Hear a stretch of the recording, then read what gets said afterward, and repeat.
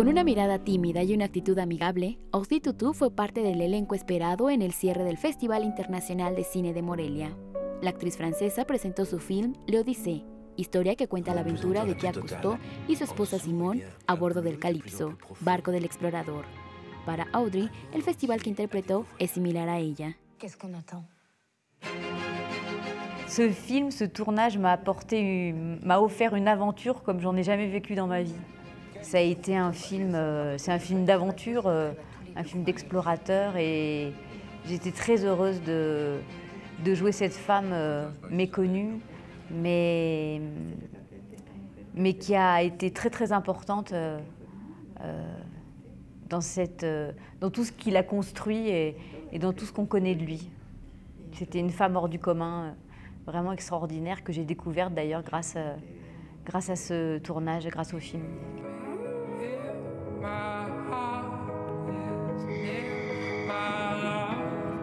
Moi, j'ai en commun avec euh, Simone Cousteau le, désir de, de liberté, d'indépendance. Euh, et comme elle, il euh, n'y a rien, il a aucun endroit au monde où je me sente mieux que sur un bateau.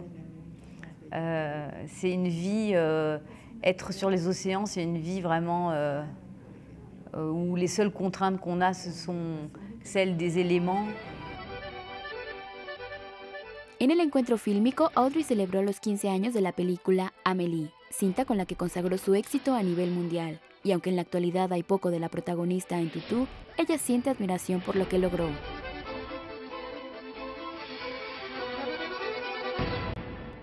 J'ai pas forcément d'opinion par rapport au rôle. La seule chose qui me, qui me réjouit, c'est de, de voir qu'il y a des jeunes gens qui n'ont pas pu découvrir le film au moment de sa sortie et qui l'ont donc euh, vu euh, récemment et qui ont ressenti le même engouement, euh, la même affection pour cette histoire, pour ce personnage. Et ça, c'est quelque chose de merveilleux quand un film peut passer les, les années sans se démoder et continuer à toucher le cœur des gens.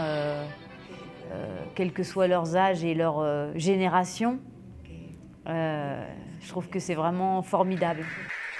Audrey Tutu también se sorprendió cuando develó una silla con su nombre en el cine principal del festival. Mencionó que se espantó porque no sabría cómo transportarla hasta su país. Sin embargo, el asiento formará parte de las butacas especiales en Morelia.